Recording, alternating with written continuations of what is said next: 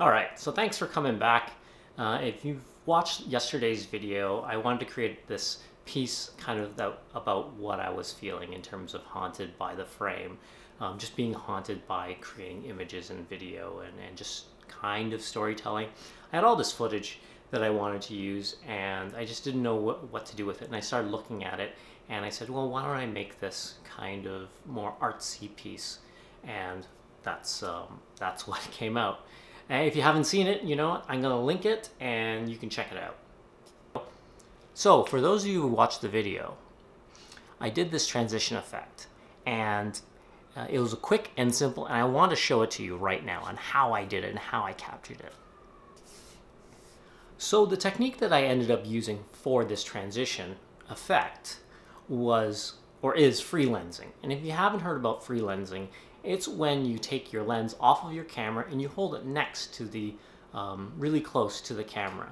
And you're able to manipulate and adjust the lens so that light leaks in from all sides. And it creates an interesting um, visual effect. If you, uh, if you know about it from photography, you'll notice you'll know that a lot of photographers have used it to create these interesting effects.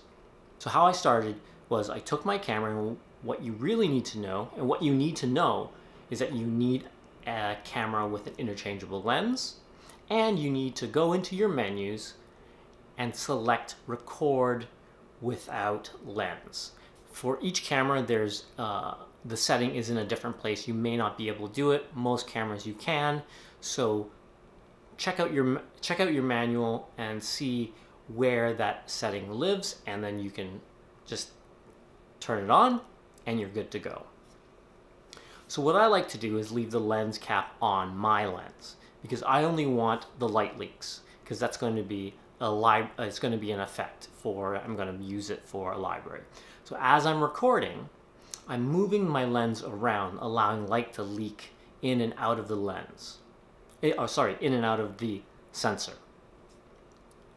And what that's doing is creating all these interesting color patterns, arcs, and all these different things, as you can see right here.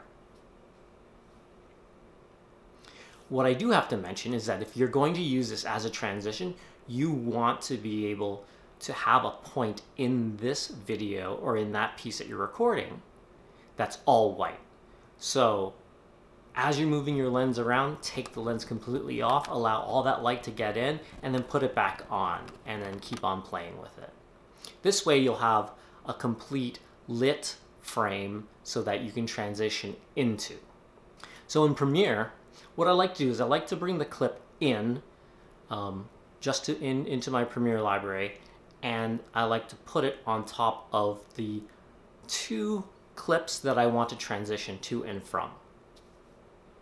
And in my case, it was transitioning from my last clip, my last video clip, to my title sequence. And this one, this one was very simple because I had a white, I used a white uh, typeface and that was it.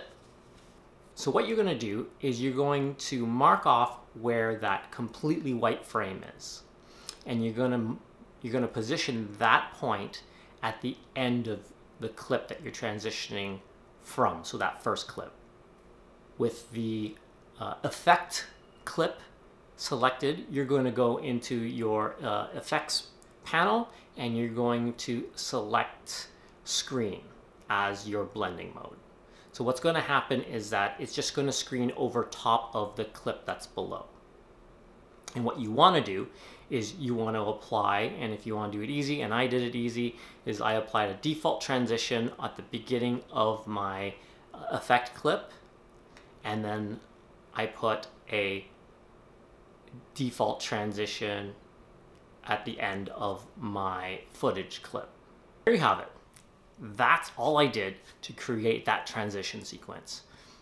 Hopefully you guys can you know, use this technique for something else, just be creative with it and figure out and just play and figure out what you want to do. And maybe, you know, you get an idea as you're working it because I didn't really know what I wanted to do with these abstract kind of light clips until really I shot it and I said, well, maybe I can use it for something.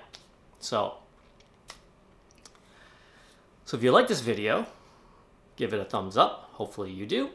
Uh, if you haven't subscribed, please subscribe uh, to my channel. Every subscriber counts. Every subscriber helps. I'm just trying to help everybody out there with the things that I know, whether it's video tips, photography tips, lighting tips, um, you know, business, uh, the creative business, uh, and you know all that good stuff. So let's make 2019 great uh, for you and for me. And, and I'll see you in the next one. Thanks again. Bye.